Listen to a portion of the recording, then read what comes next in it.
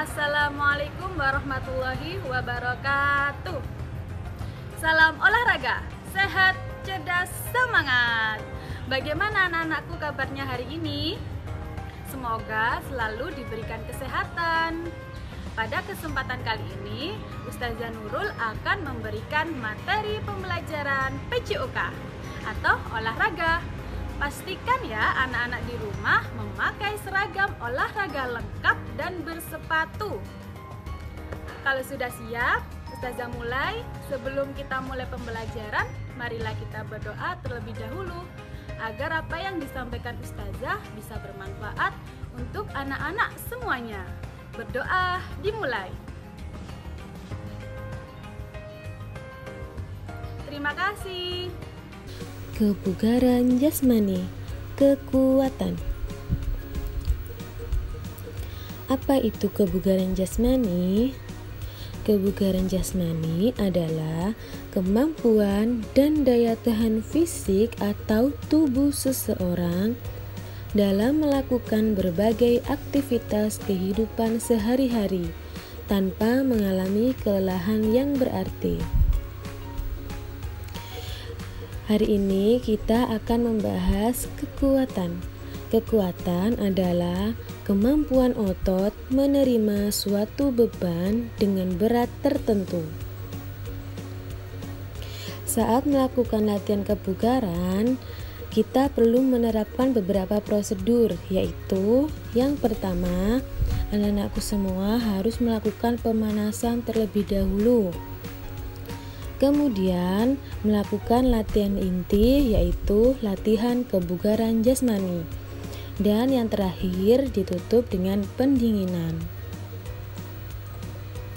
Berikut merupakan berbagai macam contoh latihan kekuatan. Yang pertama adalah latihan kekuatan otot lengan dengan cara melakukan gerakan push up. Cara melakukannya sebagai berikut. Yang pertama, berbaring telungkup dan bertumpu pada telapak dan jari-jari kaki untuk laki-laki dan lutut untuk perempuan. Posisi tangan dibuka selebar bahu. Angkat badan dan usahakan lurus dari kepala sampai kaki. Perhatikan video berikut ini.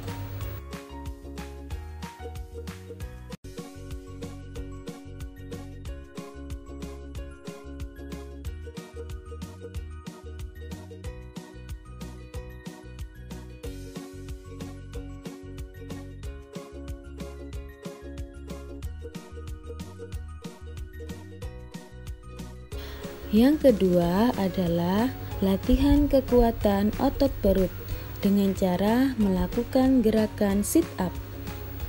Cara melakukannya sebagai berikut. Sikap awal berbaring terlentang. Letakkan tangan di belakang telinga. Angkat badan menuju ke lutut.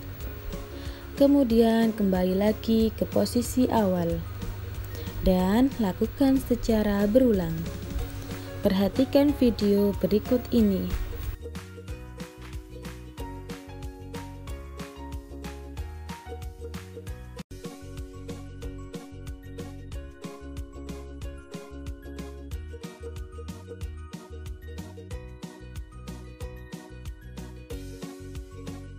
Yang ketiga adalah latihan kekuatan otot punggung dengan cara melakukan back lift atau back up.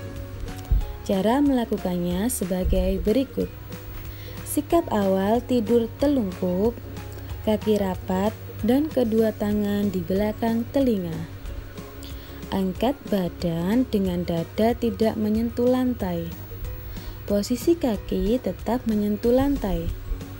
Lakukan secara berulang. Perhatikan video berikut ini.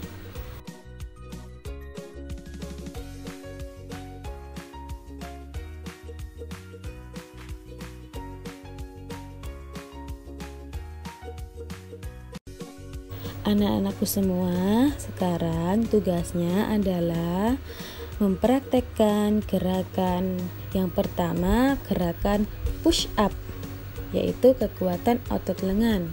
Yang kedua gerakan sit up yaitu kekuatan otot perut. Dan yang ketiga gerakan back lift atau back up untuk kekuatan otot punggung.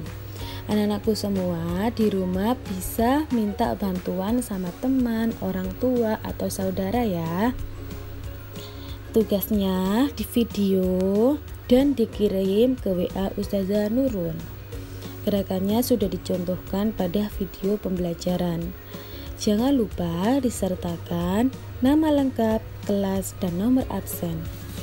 Alhamdulillahirrohmanirrohim Materi hari ini sudah selesai Pastikan ya anak-anak di rumah membaca buku LKS PJOK materi hari ini. Dan jangan lupa anak-anakku semuanya menjaga kesehatan tubuh dan berolahraga secara teratur.